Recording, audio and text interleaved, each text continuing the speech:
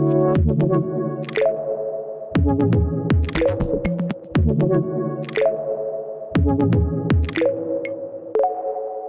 und herzlich willkommen bei Retalk, der Podcast von Real Experts. Heute spreche ich mit äh, André Schiemann. André Schiemann ist technischer Berater im Microsoft-Umfeld und wir sprechen über das Thema äh, Microsoft Viva Learning. Und das ganze Thema beschäftigt uns, schon eine ganze Weile, weil äh, das, das ganze Thema Lernen im Unternehmen, Weiterentwicklung im Unternehmen hat sich in den letzten Jahren, ich würde mal sagen, um 180 Grad gedreht. Es geht jetzt nicht mehr darum, dass wir Lerninhalte top-down von oben, von HR ähm, hingelegt bekommen, diese konsumieren und dankend annehmen, sondern der Mitarbeiter, die Mitarbeiterin möchte sich selber weiterentwickeln, möchte Inhalte suchen können und möchte dann seine, sich sein eigenes Bild machen und das nicht irgendwann in irgendeiner Präsenzveranstaltung, sondern dann, wenn er oder sie das ganze Thema auch braucht. Deshalb und dafür hat auch äh, Microsoft eine Lösung geschaffen, die es dem Mitarbeiter einfach macht, das Ganze auch zu tun. Und darüber spreche ich heute im Podcast mit André Schiemann über das Thema Microsoft Viva Learning. Ja, herzlich willkommen bei Retalk, Podcast von Real Experts. Heute bei mir zu Gast ist der äh, André Schiemann. Hallo André. Hallo Sandra. Und ähm, wir sprechen heute über das ganze Thema Viva, Microsoft Viva Learning. Schauen uns mal an, was ist das, was kann das, für wen ist das überhaupt was, was sind Anwendungsfälle und ja, beleuchten mal so ein bisschen Vor- und auch ein paar Nachteile des, des ganzen Systems. Lieber André, schön, dass du hier bist. Danke, dass ich hier sein darf. Sehr gern. André, das ist ja schon unser zweites Mal, dass wir äh, zusammensitzen. Das letzte Mal äh, virtuell, heute mal in, in Persona und über äh, Viva Learning sprechen. Mhm. Ne? Ähm, genau, für die, die es interessiert, wir haben dazu schon mal ein Video veröffentlicht. Das müsste jetzt so anderthalb Jahre her sein. Ja. Da waren die ganze Geschichte relativ neu. Da kann man sich nochmal die Grundlagen anschauen, kann nochmal schauen, wo es herkommt. Werden das auch verlinken.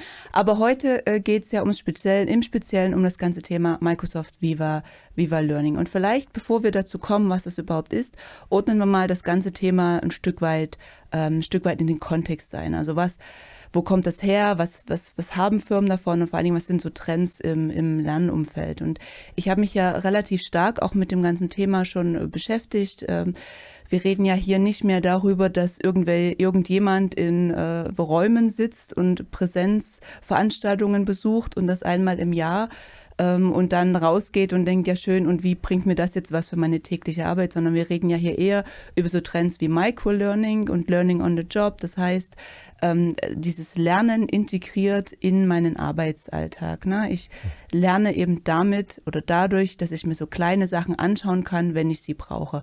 Und das ist ja das, äh, der ganze Trend, ähm, der ganze Trend dahinter, richtig? Und ähm, worüber wir auch oder worum wir auch äh, darüber reden. Genau, sehe ich auch so. Und ähm, das, der nächste Punkt ist natürlich, dass ähm, wenn man jetzt nochmal auf die Mitarbeiter schaut und die Mitarbeiterinnen, ähm, dass die, was nutzen die heute von der Toolwelt, äh, wo sind die heute, ähm, was haben die für Möglichkeiten heute am Arbeitsplatz, ähm, wie arbeiten die auch zusammen? Und da hat Microsoft sich wahrscheinlich auch gedacht, na Mensch, da kann man ja was tun, ja, ähm, und äh, da hat sich aus meiner Sicht natürlich Microsoft schon ein bisschen auch in die Richtung ähm, bewegt, ein, sag ich mal, in die Richtung des Portfolios für Personal, ähm, Anwendungen, also für zum Beispiel Lernanwendungen und aber auch andere ähm, ähm, Software für in Richtung Personalsoftware äh, zu geben und da auch ein neues Geschäftsfeld aus meiner Sicht ein bisschen ähm, ergründet natürlich. Ja, das genau. stimmt. Also ein bisschen ja. weg von der, wir machen nur reine Technik, wir stellen die Funktionalitäten zur Verfügung hin zu dem, den Mensch in den Vordergrund stellen und zu sagen, was braucht denn der Mensch am Arbeitsplatz und was würde ihm denn weiterhelfen. Genau. Und ich, ich glaube, bevor wir ähm, weiterreden, wäre es ganz gut zu wissen, was, was Viva Learning, was das ist und was das macht. Kannst mhm. du das kurz um, umreißen? Mhm. Ja, gerne. Ähm, ich versuche erstmal äh, nur das erste Wort zu erklären. Viva ist, also Microsoft Viva ähm, hat, ist aus meiner Sicht ein Brand, ja, ist also quasi eine Marke, ist ähm, ein, ähm, eine Suite von Add-ons, die Microsoft jetzt äh, anbietet für Microsoft Teams. Microsoft Teams kennen eigentlich wahrscheinlich alle mittlerweile durch die Pandemie, hat jeder, jede Mitarbeiterin am Arbeitsplatz zur Verfügung oder die meisten. Und ähm, Microsoft hat sich gedacht, ähm, wir bieten zusätzliche Add-ons für Microsoft Teams an, die für die, den, den persönlichen Mitarbeiter, also für den individuellen Mitarbeiter sind. So, und das ist unter dem Begriff Microsoft Viva ähm, sozusagen zusammengefasst als, als Brand. Das sind also Add-ons, zusätzliche Services, die Microsoft jetzt anbietet, um natürlich, muss man auch ganz klar sagen, zusätzliches Geld natürlich auch ähm, zu verdienen. Ja, ja, ist richtig. Ja. Das ist richtig.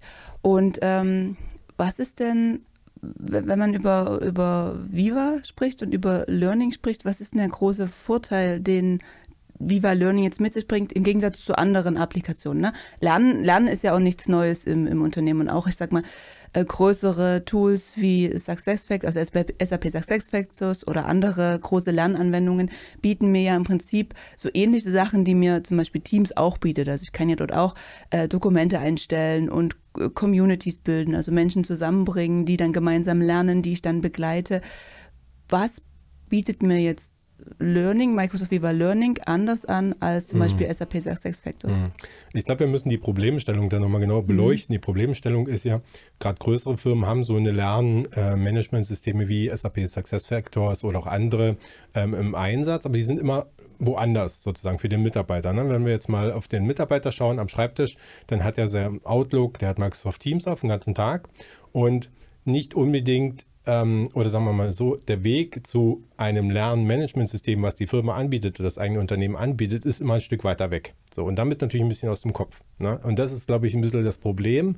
Ähm, wo Microsoft gedacht hat, hier können wir ansetzen, hier können wir was tun, in dem Sinne zu sagen, wir bringen das Lernmanagementsystem oder auch den Content, reine Lerncontent, die Inhalte näher zum Mitarbeiter in, den, in das Programm, in die Software, die der Mitarbeiter den ganzen Tag aufhat.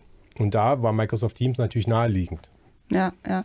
Das heißt, ich habe jetzt den Vorteil oder also den Vorteil, den es mir als Mitarbeiter bringt, dass ich jetzt nicht die Applikation nochmal wechseln muss, sagen muss, ähm, ich habe da vielleicht noch eine Barriere, ich muss mich neu anmelden, wenn es nicht irgendwie genau. integriert ist und ja. ich benutze das System vielleicht nur ein, zweimal im Jahr, weil ich irgendwelche Pflichtschulungen machen muss und gehe dann wieder raus, weiß gar nicht, wie ich es bedienen muss, sondern ähm, der große Vorteil ist ja in meinen Augen, das sollten wir, glaube ich, noch mal ein Stück näher beleuchten, wie genau diese Integration auch aussieht mhm. oder aussehen kann, ähm, dass, es, dass ich eigentlich, ich arbeite und schaue mir vielleicht dann noch mal ein, ein, Video dazu an und merke im Grunde vielleicht auch gar nicht so richtig, wo dieses Video ähm, gerade eigentlich liegt. Ähm, kannst du ja. darauf nochmal näher eingehen? Also ja. dieser, ich nenne es ja immer so gerne so dieser Learning Hub-Gedanke. Also ein mhm. Hub ist ja etwas, was, was aus verschiedenen Kanälen gespeist wird und dann diese Kanäle mhm. an mich quasi verteilt. Also ja. aus verschiedenen Richtungen kommen in dem Sinne Lerninhalte in mein Teams hinein und ich kann mir diese anschauen, kann diese auch verknüpfen, vielleicht äh, thematisch zuordnen und kann äh, dann darauf quasi aufbauen und lernen und was auch immer ich damit machen möchte. Mhm. Ähm, vielleicht gehen wir darauf nochmal ein Stück ein, also auf diesen Hub Hub-Gedanken. Mhm. Vielleicht gehen wir erstmal auf das Thema Quellen an. Mhm. Also wo kommen Lerninhalte heutzutage ja. her? Also ja. entweder gerade größere Firmen haben in so eine Lernmanagementsysteme im Einsatz, sehr professionelle, also hochprofessionelle und auch vielleicht auch mhm. teure Lösungen wie SAP SuccessFactors ist eine, glaube ich, die in Deutschland relativ bekannt ist. Aber es gibt natürlich neben dem Lernmanagementsystem, also LMS abgekürzt, äh, noch so Content-Anbieter, die jetzt rein nur Lerninhalte zur Verfügung stellen. Bekannte, sag ich mal, bei uns in Deutschland ähm, ist zum Beispiel LinkedIn Learning, ist relativ bekannt mittlerweile, äh, weil die hatten früher, gab es Video to Brain zum Beispiel in Deutschland und Video to Brain wurde aufgekauft von LinkedIn Learning. So, und LinkedIn muss man auch wissen, hinter LinkedIn steckt, steckt heutzutage auch Microsoft, weil Microsoft LinkedIn vor einigen Jahren gekauft hat. Was sonst noch relativ bekannt ist in Deutschland als, als Inhalteanbieter ist Udemy ist ein bisschen vom Trend her hochgegangen, mhm. kennen auch einige, ja. auch viele aus dem privaten Bereich, aber auch aus dem Firmenbereich. Es gibt auch ein Enterprise-Angebot dort. Und jetzt geht es ja darum, ich habe also als Unternehmen verschiedene Quellen oder verschiedene, ähm, sag ich mal, Abos abgeschlossen, zum Beispiel mit Content-Anbietern wie LinkedIn Learning oder Udemy oder ich habe ein LMS im Einsatz schon und will diese Inhalte ähm, zum Mitarbeiter bringen relativ einfach und aus unterschiedlichen Quellen. Und das ist genau das, was Viva Learning bietet, dass ich sage, ich habe eine Integration, eine technische Integration von Content aus verschiedenen Quellen und bringe die zum Mitarbeiter. Ne? Und habe nicht nur ein System und der Mitarbeiter muss auch nicht switchen. Das ist also natürlich ein riesen Vorteil, dass ich sage, ich habe ein, eine Software und habe aber verschiedene Quellen angebunden und habe verschiedene Lerninhalte aus verschiedenen Quellen dort für den Mitarbeiter verfügbar gemacht. So, das ist, denke ich mal, der erste große USP aus meiner Sicht von Viva Learning. Und der nächste ist, wo wir schon zum Thema Microlearning kommen, was du ja schon angesprochen mhm. hast, ist, mm, man muss ja immer überlegen, wer ähm, ich nenne es jetzt mal kuratiert, oder wer baut denn die Lerninhalte für die Mitarbeiter? Ja, also die Kurse zum Beispiel. Macht das jetzt HR, ja, im Sinne von eine Personalabteilung setzt sich hin und überlegt, okay, was braucht man denn jetzt für welche Stellenprofil, welche äh, Lerninhalte und welche Kurse? Oder kann das zum Beispiel jetzt auch im, im Projektkontext ein Projektleiter sein, der einfach sagt, okay, in meinem Projekt ist wichtig das und das oder dass unser Projekt handelt um, über diese und diese Technologie oder sowas. Oder, oder Methode, Methode, ne? Man sagt Scrum, genau. wir nutzen Scrum als genau. Methode. Ne? Genau, und das ist ein ganz klassisches Beispiel, dass der Projektleiter jetzt in der Lage ist, zum mhm. Beispiel in Microsoft Teams innerhalb eines Projektteams, also quasi, ich sage jetzt mal Teams-Team, ja, ähm, dort eine Tab einzubinden und zu sagen, so, ich brauche jetzt Lerninhalte und klicke mir die zusammen und stelle die meinem Projektteam zur Verfügung. Ja. Ohne dass er HR involvieren muss. Und das ist natürlich ein riesen aus meiner Sicht auch ein riesen USP, weil du einfach selber als Projektleiter sagen kannst, das, das, das, diese drei Videos sind total wichtig. Hier, ähm, die stelle ich jetzt meinem Projektteam dort zur Verfügung. Es ist ein Klick, es ist sofort verfügbar und jeder kann sich das jetzt in dem Projektkontext dann auch angucken, um einfach ready zu sein für die Projektarbeit zum ja, Beispiel. Ja, ja. Kann ich auch eigene Inhalte einstellen? Man kann auch eigene Inhalte mhm. einstellen, genau. Da kommen wir da äh, kommen wir dazu, wo liegen eigentlich die Inhalte? Die eigenen Inhalte, die liegen meist in, wenn man Microsoft 365 einsetzt, in SharePoint Online. Mhm. Das heißt, dort hat man Dokumente, PowerPoint äh, etc. Und diese Quelle kann man dort auch anbinden und kann sozusagen auch eigene Inhalte in Viva Learning anzeigen lassen. Das geht. Ist noch ein bisschen rudimentär. Ne? Ich bin ganz ehrlich und offen, wir sind ja auch neutral hier. Ja. Ähm, ist noch ein bisschen rudimentär, ja. die Funktion. Da könnte Microsoft sich noch ein bisschen verbessern, gerade an dem Aspekt. Aber ja, das geht. Okay, okay. Und ähm, wir hatten ja, wie gesagt, schon mal vor anderthalb Jahren gesprochen, da war ja alles noch relativ neu. Mhm. Wie weit ist Microsoft jetzt mit diesem Thema? Also mhm. würdest du sagen, ja, ist schon gut nutzbar, kann man, kann man einsetzen? Mhm. damals war es ja wirklich noch nur eher ein, auf dem Papier. Ne? Wir haben ja. ja damals noch gar nicht zum Zeigen gehabt. Ähm, aber jetzt sieht die ganze Geschichte ja, denke ich mal, anders aus, mhm. oder? So und so, mhm. würde ich mal sagen. Ähm, meine Einschätzung ist, Microsoft hat sehr lange gebraucht von, von dem Announcement. Letztes Jahr war das, glaube ich, ja, es muss im Frühjahr gewesen sein. Ich weiß es nicht mal ganz genau, mhm, ja, als, als, als sie Viva, Microsoft Viva sozusagen als Brand gelauncht haben. Ja. Ne? Und bis die Funktionalität, die sie dort damals gezeigt haben, wirklich zur Verfügung stand, das hat schon sehr lange gedauert. Sehr, sehr lange, muss ich sagen. Und die Funktionalität ist in der Zwischenzeit auch nicht massiv gewachsen, muss man auch sagen. Ich glaube, hier sieht man auch, dass Microsoft auch ein bisschen äh, Personalengpass hat, nicht nur mhm. andere Firmen. Mhm. Und deswegen da auch jetzt nicht der Entwicklungsspeed oder die Entwicklungsgeschwindigkeit da ist, die man sich vielleicht als, äh, als Kunde auch wünscht, muss man ganz ehrlich sagen. So. Aber es ist natürlich Stand heute schon nutzbar. Also Viva Learning ist jetzt kein Proof of Concept oder so. Das ist also ein Add-in um das nochmal dazu zu sagen, was erstmal kostenlos ist, was ich also einsetzen kann, wenn ich Microsoft 365 ähm, Lizenzen habe im Unternehmen, wenn ich also Microsoft 365 im Einsatz habe, alle Mitarbeiter haben schon Teams, dann ist das aus meiner Sicht schon eine Sache, die man sich angucken sollte. Ja, und ähm, da habe ich schon verschiedene Funktionen jetzt drin, zum Beispiel aber auch Lerninhalte schon drin. Also das ist auch das Gute, dass Microsoft jetzt nicht sagt, okay, stellt euch nur die Anwendung äh, zur Verfügung, ihr müsst euch selber kümmern, jetzt Lerninhalte oder, oder Content-Anbieter von Lerninhalten anzubinden, nach dem Motto viel Spaß, ja. sondern zum Beispiel die Microsoft eigenen Lerninhalte von Microsoft Learn sind zum Beispiel drin.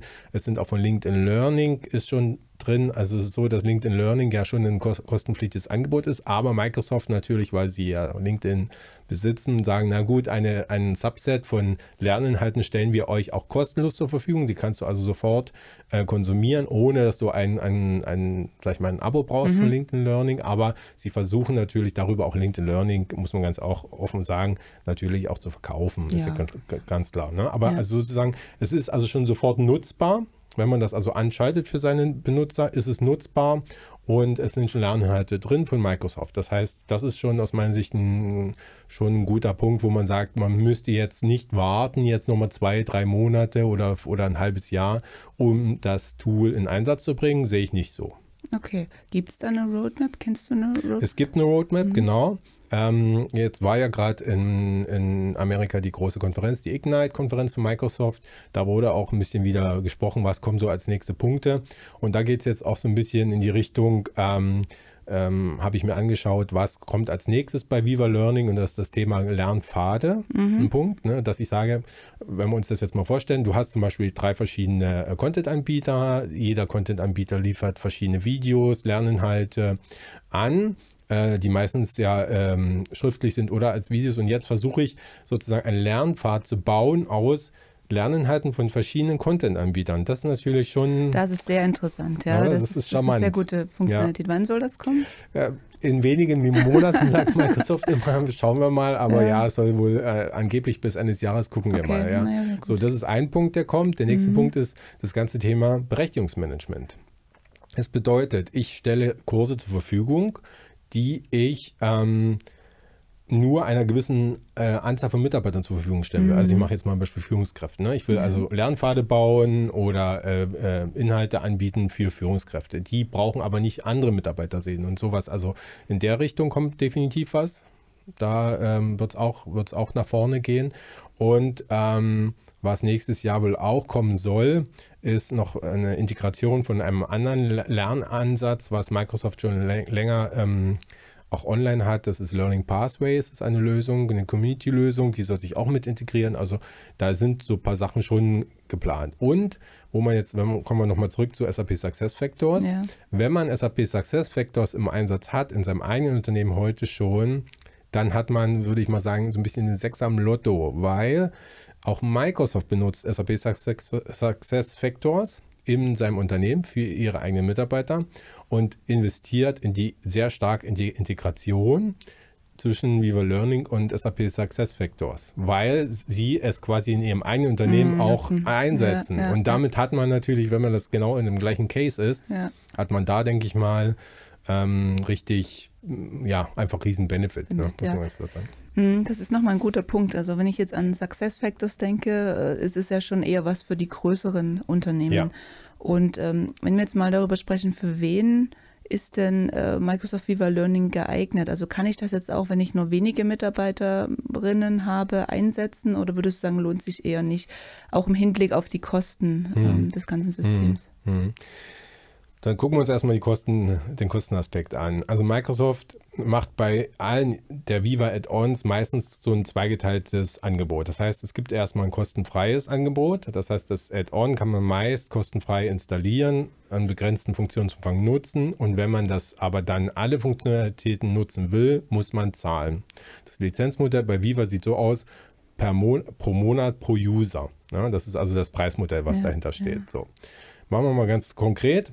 Viva Learning, die kostenlose ähm, Funktion, das kostenlose Add-ons, die sind schon gut, sind richtig gut. Und die Premium-Lizenz kostet 3 Euro paar zerquetschte pro Monat, habe heute früh nochmal nachgeguckt, aktuell, ähm, pro User. Das mhm. ist natürlich schon ein Preis, ja. den ich ja, wenn ich jetzt gerade wieder an die Kostenbrille denke, sage, naja gut, das muss man wollen. So, jetzt ist die Frage, was kriegt man denn überhaupt dafür? Bei Viva Learning ist es so, dass ich die Integration in andere, also die, die, die Integration zwischen Viva Learning und anderen Systemen wie SAP Success Factors, dafür brauche ich diese Premium-Lizenz. Also wenn ich sage, da will ich jemand anbieten, anbinden wie SAP oder Udemy oder andere ähm, Softwareanbieter, die es schon lange auf dem Markt gibt, dann brauche ich die Premium-Lizenz. Das ist im Moment so äh, gerade jetzt gerade die Abstufung. Weitere zusätzliche Funktionalitäten in der Premium-Lizenz gibt es Stand heute gar nicht. Okay. Microsoft kann das aber natürlich relativ leicht mhm. auch konfigurieren und justieren. Da müssen wir mhm. mal abwarten, wie das, wie das geht. Aber damit ist klar,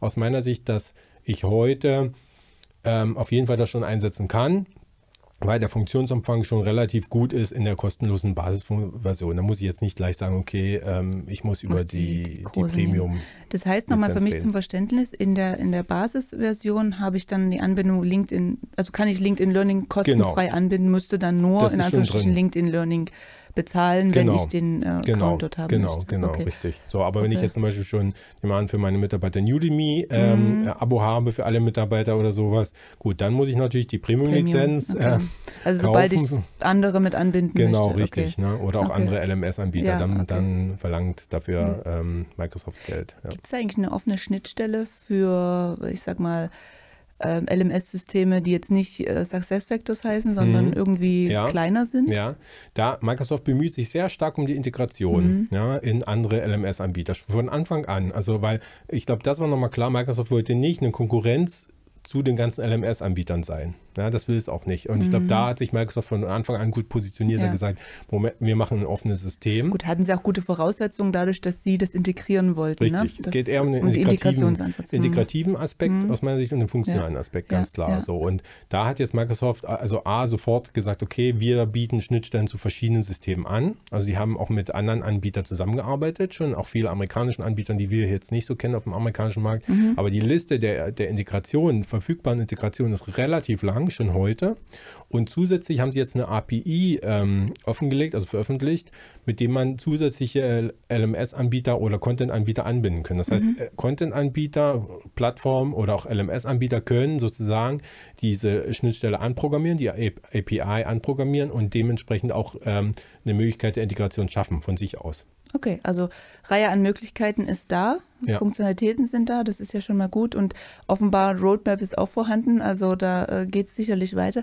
Ich würde gerne noch mal ein Stück weit auf die Anwendungsfälle zu sprechen kommen. Wir haben ja, äh, du oder du hast ja schon äh, gesagt, diesen Anwendungsfall, ähm, ich nenne es jetzt mal ähm, Bottom-up, also ein Projektleiter möchte ähm, für sein Projektteam Inhalte zur Verfügung stellen und äh, kuratiert diese und sagt, guckt euch das an, bevor ihr ins Projekt kommt oder einfach fürs Onboarding im, im Projekt geeignet. Mhm. Was haben wir denn noch an Anwendungsfällen? Also Top-Down zum Beispiel geht es natürlich auch, ne? also Mhm. Ja. kuratierte Inhalte vom Unternehmen. Genau, zum Beispiel jetzt gerade aus, wenn man wieder nochmal an die Personalabteilung denkt. Ne, meistens ist es ja so, dass in der Personalabteilung jetzt nicht nur Personal verwaltet wird, sondern auch um Weiterentwicklung, um Weiterbildung und vielleicht auch äh, Weiterentwicklungspfade geht und sowas, ne, persönliche Weiterentwicklung. Und da könnte man jetzt auch sagen, als, als Personalabteilung, okay, ich fange an, dort Lernpfade zu bauen, kuratiere Inhalte oder ähm, kann sozusagen dort auch im Redaktionsfrontend, kann man sagen, okay, den Kurs will ich jetzt zum Beispiel aktuell gerade teasern für meine Mitarbeiter, der soll also sehr prägnant hervorgehoben werden, das kann ich alles tun. Ja, sowas kann ich tun, genau. Also das ist natürlich der Punkt. Und was man jetzt auch natürlich, was wir noch nicht angesprochen haben, was man auch dran denken muss, ist, wir, äh, Viva Learning spricht nicht nur den, den, den Mitarbeiter am Schreibtisch an, ne, sondern auch den mobilen Mitarbeiter. Mhm, guter Punkt, ja. Da kommen wir natürlich auch nochmal in den Use Case rein. Wie bringe ich denn so ein LMS zu einem Mitarbeiter, der keinen Schreibtisch hat? Ja, auf dem mobilen Endgerät. Ne, in Microsoft Teams. Und das ist natürlich auch wieder aus meiner Sicht ein guter Punkt, wo ich sage, Mensch, ich will jetzt äh, Leute ansprechen, gewerbliche Mitarbeiter zum Beispiel in der Produktion, in der Logistik, in, ja, ähm, die will dort jetzt Microsoft Teams, äh, die haben vielleicht schon Microsoft Teams im Einsatz auf ihrem mobilen Endgerät, ja, auf ihrem Smartphone und will dort sozusagen Lerninhalte ausspielen. Das ist dann auch ein Punkt, dass also Viva Learning funktioniert auch auf dem mobilen Endgerät, auf dem Smartphone und ich kann also als Personalabteilung somit auch Lerninhalte bringen, ver veröffentlichen an Mitarbeiter, die nicht am Schreibtisch sitzen. Ja, guter Punkt. Das ist ein wichtiger Punkt, Guter glaube ich, Punkt, ja. heutzutage, weil da, denke ich mal, ist jetzt das LMS oder die, die, die etablierten LMS-Anbieter, glaube ich, da sind die eher schwach aufgestellt, vermute ich. Das ist meine Vermutung. das kann ja. ich nicht beurteilen, ja. Ja. Ja, das müsste man, das müsste, Müsste man, man testen, genau. ja.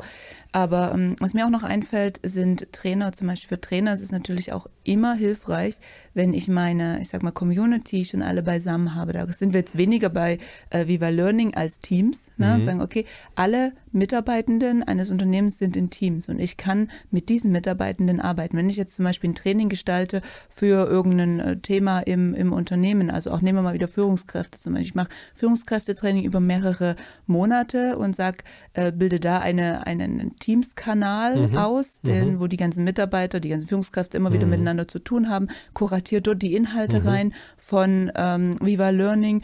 Dann treff, trifft man sich vielleicht wieder in Präsenz, geht wieder zurück in die Community. Auch das ist ein Riesenvorteil Mhm. Ja, ne, ja. für, für Trainer, die, die Trainings gestalten. Ja. Also das, das, ist, das ist schon gut. Ich meine, die Funktionalitäten habe ich natürlich auch in äh, SuccessFactors Mhm. oder anderen Systemen, aber eben dort guckt in der Regel keiner regelmäßig rein. Und so habe ich die Genau. alle vor Ort, die haben ihre Kanäle, die sehen, wenn die jemand angeschrieben hat und können direkt, äh, direkt antworten. Also ich Mhm. Denke, das ist auch ein riesen, riesen Enabler, ein riesen Vorteil Ja. des ganzen Systems. Ja, und dann muss man ja auch überlegen, ähm, es gibt ja auch Mitarbeiter, die wollen sich selber weiterentwickeln oder wollen selber was lernen, aus ihrer äh, eigenen Motivation heraus. Ne? Und wollen zum Beispiel jetzt, ich sage mal, ein klassisches Beispiel Zeitmanagement. Ja? Ich bin Mitarbeiter im Büro am Schreibtisch, möchte mich irgendwie da verbessern. Ne? Und gibt so ein Schlagwort dort auch ein, es funktioniert in Viva Learning heute schon, ich kann also sagen, Zeitmanagement interessiert mich, zeig mir Kurse an zu Zeitmanagement. Ja, und dann werden mir Kurse vorgeschlagen und ich kann dann den Kurs anschauen, also die Lerninhalte direkt anschauen. Oder ich kann sagen, ich interessiere mich für Technologie A, B, C oder Methode Scrum zum Beispiel. Zeig mir alles, was zu Scrum da ist. Mhm.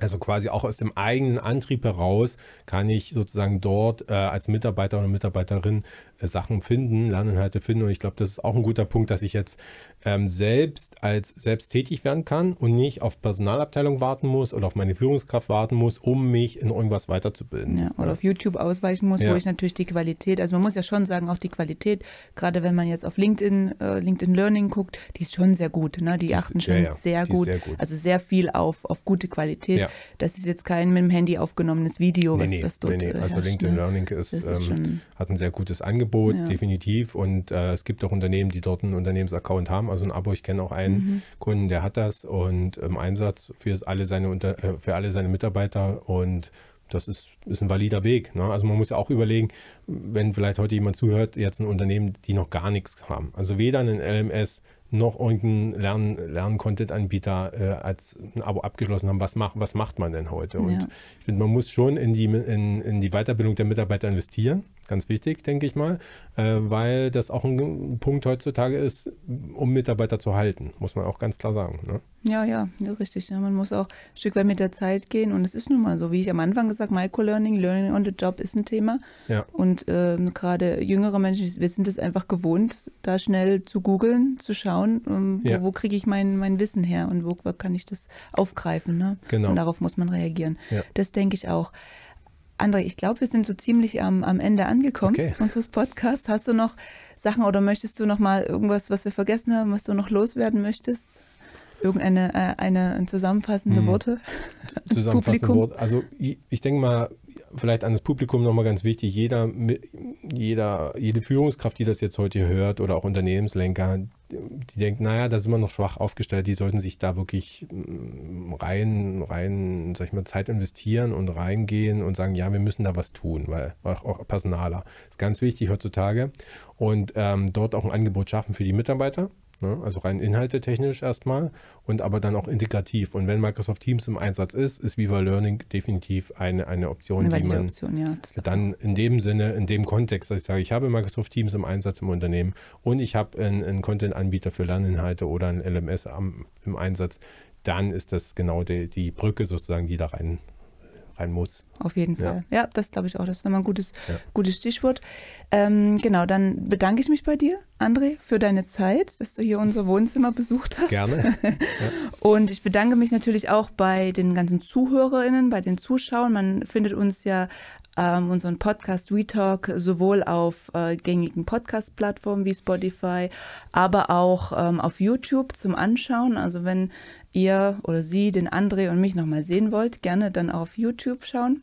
Genau, ansonsten äh, bedanke ich mich äh, bei allen, die sich angeschaut haben oder zugehört haben und ähm, Heute ging es um das ganze Thema ähm, Viva Learning. Wir haben darüber gesprochen, was es ist, was es kann. Ich hoffe auch, haben verständlich gemacht, wie es funktioniert, ähm, der, der Hub-Gedanke und äh, was für Vorteile es sind, was für Kosten es hat und wie, die, wie der weitere Weg von ähm, Viva Learning aussehen kann. Nochmal vielen Dank, André. Ihr findet uns auf allen möglichen Kanälen, die äh, so zur Verfügung stehen. Also Seite, sei es unsere Website www.realexperts.de oder auf LinkedIn sind wir auch vertreten. André, wo finden wir dich?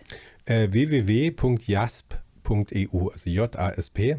Das ist die Firma, äh, für die ich arbeite und www.jasp.eu oder natürlich LinkedIn, da findet man mich auch. auch. André Schiemann. Ja, genau. einfach suchen. Das machen wir dann. Vielen Dank, eine schöne Zeit und bis bald. Tschüss. Tschüss.